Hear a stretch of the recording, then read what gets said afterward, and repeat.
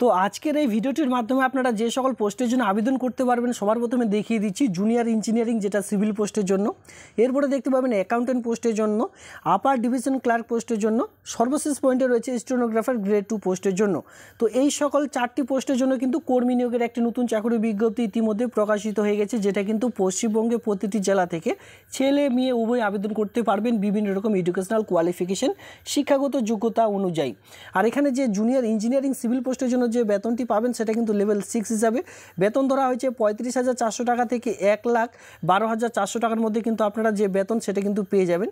Accountant পোস্টের জন্য আপনাদের লেভেল ফাইভ হিসাবে বেতনটি ধরা হয়েছে উনত্রিশ হাজার দুশো টাকা থেকে বিরানব্বই হাজার তিনশো টাকার মধ্যে আপনারা কিন্তু যে বেতন সেটা কিন্তু পেয়ে যাবেন।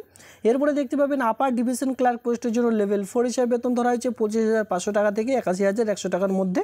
স্টোনোগ্রাফার গ্রেড টু পোস্টের জন্য লেভেল ফোর হিসাবে ধরা হয়েছে পঁচিশ হাজার পাঁচশো টাকা থেকে একাশি হাজার একশো টাকার মধ্যে কিন্তু আপনারা যে বেতন সেটা কিন্তু পেয়ে যাবেন। তো এবার আমরা সরাসরি দেখে নেব, আজকের এই রিক্রুটমেন্টটি কিন্তু আপনারা সরাসরি অনলাইনের মাধ্যমে আবেদন করতে পারবেন।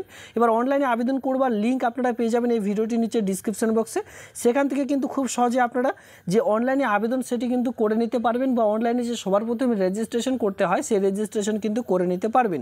এর সঙ্গে বলে রাখি, আজকের যে নোটিশটি রয়েছে, সেই নোটিশটির লিঙ্কও কিন্তু আপনারা পেয়ে যাবেন।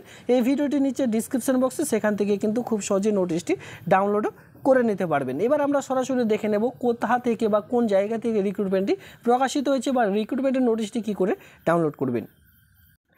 তো রিক্রুটমেন্টটি প্রকাশিত হয়েছে এখানে অন স্ক্রিনে আপনারা দেখতেই পাবেন। আমি কিন্তু অফিসিয়ালি সাইডে চলে এসেছি ন্যাশনাল ওয়াটার ডেভেলপমেন্ট এজেন্সি যেটা মিনিস্ট্রি অফ জলশক্তি এরপরে দেখতে পাবেন department of water resource river develop sorry development যেখানে গঙ্গা রিজুভনেশন যেখানে গভর্নমেন্ট অফ ইন্ডিয়ার তরফ থেকে কিন্তু নিয়োগটি করতে চলেছে। তো নোটিশটি ডাউনলোড করবার জন্য একটু নিচে স্কুল ডাউন করে আসবেন। এখানে আপনারা সবার প্রথমে দেখতে পাবেন, এই যে হোম রয়েছে হোমের মধ্যে এসে এই যে ভ্যাকেন্সি সেকশনটি রয়েছে, সেখান থেকে নোটিশটি ডাউনলোড করে নিতে পারবেন। এছাড়া এই যে পেজটি রয়েছে, আমি কিন্তু ভ্যাকেন্সির যে ডিটেলস রয়েছে, সেই ডিটেলসে চলে এসেছি। এই নোটিশটির লিঙ্ক থাকবে ভিডিওটির নিচে ডিসক্রিপশন বক্সে সেখান থেকেও কিন্তু খুব সহজে ডাউনলোড করে নিতে পারবেন।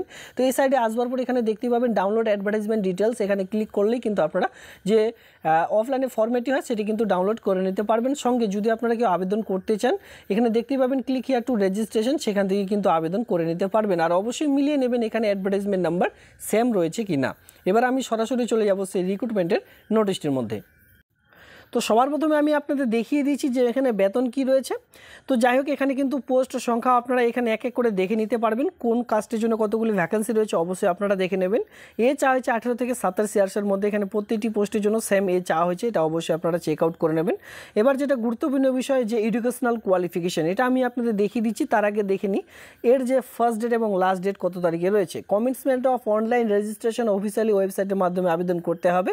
যার আবেদন শুরু হয়ে গেছে তেইশ চার দু তারিখ থেকে last date submission of online application এই আবেদনটির যে লাস্ট ডেট সেটা কিন্তু তেইশ পাঁচ দু তারিখে। এবার আবেদনটি করতে হলে অবশ্যই তেইশ পাঁচ দু হাজার বাইশ তারিখের মধ্যেই কিন্তু আবেদনটি করে কমপ্লিট করে নেবেন।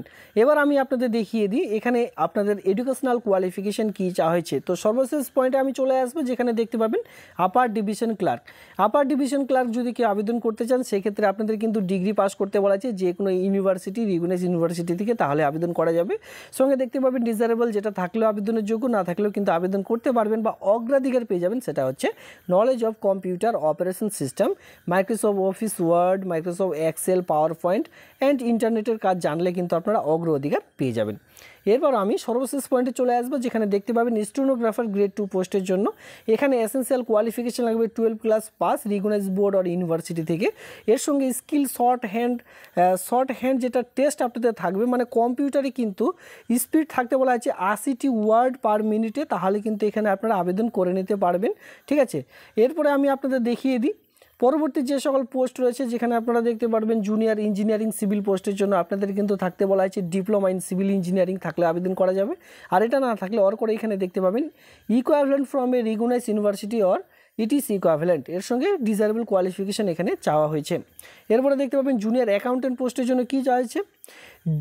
ডিগ্রি ইন কমার্স নিয়ে যদি আপনারা কেউ ডিগ্রিটি করে থাকেন, যে কোনো ইউনিভার্সিটি বা ইনস্টিটিউশনের আন্ডারে তাহলে কিন্তু এখানে আবেদন করা যাবে। সঙ্গে ডিজারেবল কোয়ালিফিকেশান চাওয়া হয়েছে থ্রি ইয়ার্স এক্সপিরিয়েন্স যদি আপনারা কেউ দেখাতে পারেন, তাহলে কিন্তু আপনারা এখানে অগ্রাধিকার পেয়ে যাবেন বা এখানে কিন্তু আগে আপনারা যে চান্স সেটা কিন্তু পেয়ে যাবেন।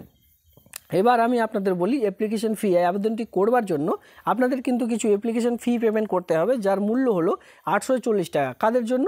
এখানে দেখতে পাবেন ফর জেনারেল অ্যান্ড ওবিসি ক্যাটাগরির জন্য আটশো চল্লিশ টাকা।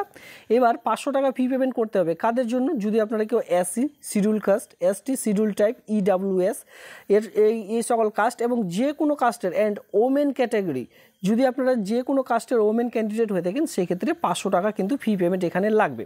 এবার এজ প্রুফ হিসাবে আমি আপনাদের দেখিয়ে দিয়েছি, তার আগেও এখানে দেখিয়ে দিই যে এজ রিল্যাকশনও কিন্তু এখানে রয়েছে। যদি আপনারা কেউ বয়সে ছাড় পেতে চান এস এসটি হয়ে থাকলে পাঁচ বছরের ছাড় ওবিসিরা কিন্তু বয়সে তিন বছরের ছাড় এক্স সার্ভিসম্যানরা কিন্তু এখানে বয়সে তিন বছরের ছাড় পেয়ে যাবেন।